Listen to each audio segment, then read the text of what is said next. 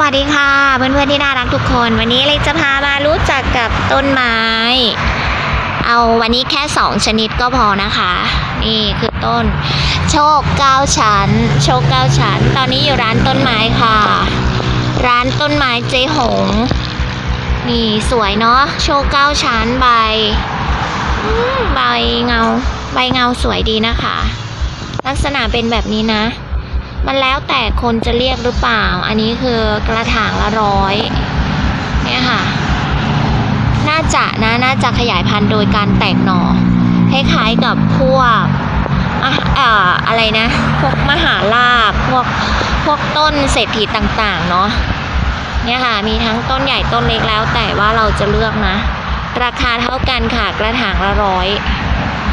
นี่เห็นไหม โชคเก้าชั้น ลักษณะเป็นแบบนี้นะ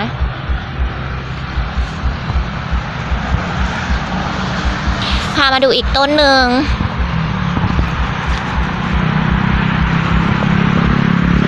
นี่คือหลายๆ คนคงอาจจะรู้จักนะคะ นี่เขาเรียกแก้วสารพัดนึกสวยไหม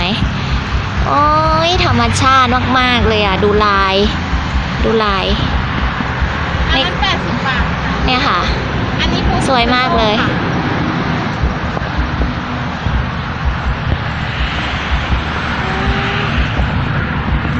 แก้วสารพัดนึกทำไมแบบ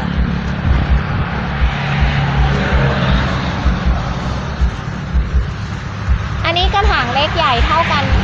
ไม่ค่ะกระถางใหญ่สองร้อยห้าสิบอ๋อ อันนี้ราคากระถางใหญ่เท่านี้นะคะ250ส วยอะ สวยดีนะเล็กชอบ สวยชอบลายมันอะ อันนี้เรียกต้นแก้วสารพัดนึงอันนี้ขยายพันธุ์ยังไงคะ แตกหน่อไหมแปดค่ะ แตกหน่อเหมือนกัน แยกหน่อเนาะอ๋อนี่ไงนี่ไงน้องเขาเอาให้ดูนี่ค่ะเอ้ยน่ารักดี กระถางนี้เอ่อกระถางนี้ร้อยห้าสิบบาท นี่ค่ะ สวยดีนะ แก้วสารพัดนึก ชอบอยู่แล้ววกว่านนะคะ สีมันสวยดี โทนนี้พามารู้จักเดี๋ยว อีกต้นหนึ่งเนาะก็สวยนะอันนี้อะไรคะอ่าอันนั้นลิ้นมังกร อ๋อ ใช่ดินมังกรทองใช่ค่ะเออ สวยจะเป็นงาช้างนำโชคอ่าแบบเล็กใช่ไหมอันนี้แบบเล็กใช่ไหมอุ้ยสวยอะ อุ้ยท่านผู้ชม ลิ้นมังกรทองเท่าไหร่คะเนี่ยอ่า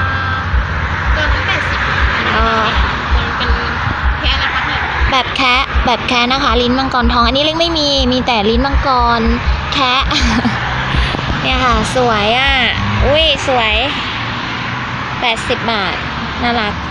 อันนี้ก็แยกหน่อไหมแยกค่ะ แยกหน่อ อุ้ยสวยอะ สวยสวยสวย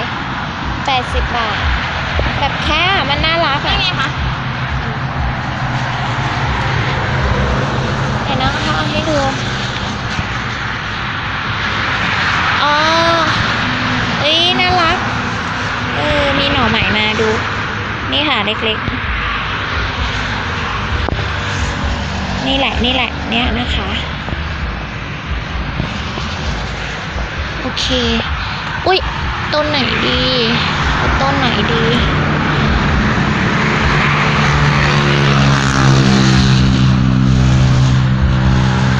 วันนี้พามารู้จักต้นไม้สามต้นนะคะสามต้นก่อนเนาะวันนี้เรามาเจอกันใหม่คลิปหน้านะ เดี๋ยวเล็กมาแนะนำอีกเรื่อยๆนะคะ